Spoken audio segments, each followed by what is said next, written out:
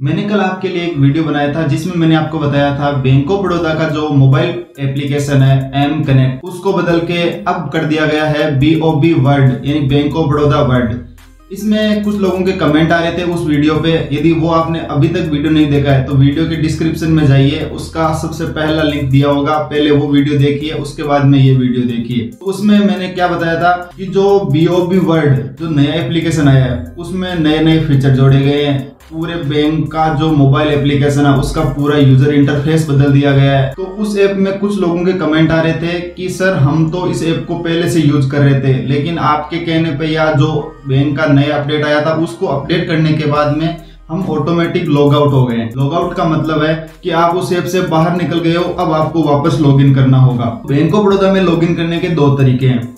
यदि आप नया बैंक अकाउंट खुलवाते हो, आपका डेबिट कार्ड आने में सात या आठ दिन का टाइम लगता है। लेकिन उससे पहले यदि आप मोबाइल एप्लीकेशन को यूज़ करना चाहते हो तो आप बैंक में जाकर बैंक अधिकारी से कह सकते हो कि, सर, मुझे एम कनेक्ट एप्लीकेशन यूज़ करना है। तो वो आपको चार डिजिट का एक पिन दे देंगे।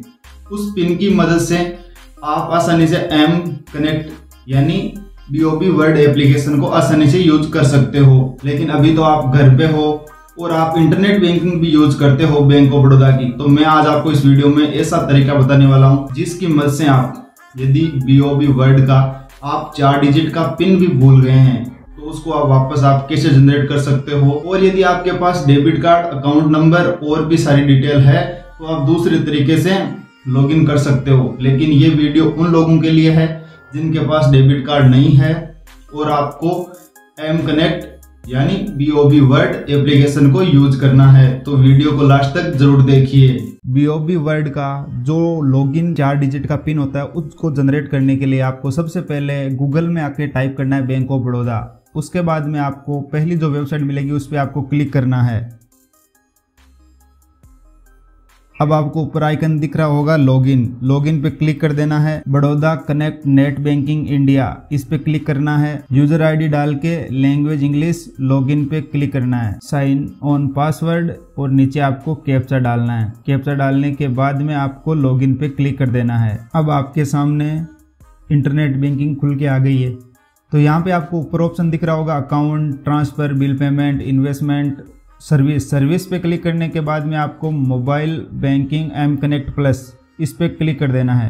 यहाँ पे आपको ऊपर तीन ऑप्शन दिए गए हैं registration de registration reset M PIN तो यदि आपने सबसे पहले रजिस्टर करना चाहते हो, यानी पहली बार ही रजिस्टर करना चाहते हो तो रजिस्ट्रेशन पे आपको क्लिक कर देना है। क्लिक करने के बाद में यहाँ पे लिखा हुआ है सेलेक्ट कस्टमर आईडी तो आपकी बैंक ऑफ़ बड़ौदा की जो कस्टमर आईडी है, उसको आपको सेलेक्ट कर लेना है। उसके बाद में आपका नाम और मोबाइल नंबर बता रहा है और यहाँ पे आपको कंटिन्यू का आइकन दिख रहा होगा। इस पे आपको क्लिक करना है। यहाँ पे सारी इन्फॉर्मेशन आपके सामने आ गई है। नीचे कन्फर्मेशन डिटेल में आपको ट्रांजेक्शन पासवर्ड डाल के सबमिट पे क्लिक करना है। तो सबमिट करते ही आपको ऐसा एक सक्सेसफुल का मैसेज शो होगा। इसका मतलब है कि आपके मोबाइल पे एक चार डिजिट का पिन आया होगा। जैसा मैं आपको स्क्रीन पे दिखा रहा हूँ, ऐसा चार डिजिट का पिन आया होगा। अब आपको क्या करना है? सबसे पहले B O B world application को अपडेट कर लेना है, उसको लॉगिन करना है आपको। जैसे आप एंटर करोगे उसमें तो आपको ऑटोमेटिकली ये चार डिजिट पिन मांग लिया जाएगा, क्योंकि वो आपके मोबाइल के साथ लिंक हो चुका है, चार डिजिट का पिन अब आपको अकाउंट नंबर डेबिट कार्ड की किसी भी चीज़ की आवश्यकता नहीं पड़ेगी। यदि आपको वो भी प्रक्रिया देखनी है कि कैसे हम रजिस्टर कर सकते हैं तो आने वाले वीडियो के लिए हमारे चैनल को सब्सक्राइब कर लें। मैं इस पर जल्द ही वीडियो बनाने वाला हूँ। यदि वीडियो पसंद आया तो लाइक कीजिए, यदि चैनल पसंद आया तो सब्सक्राइब कीजिए। जय हिंद, जय भारत।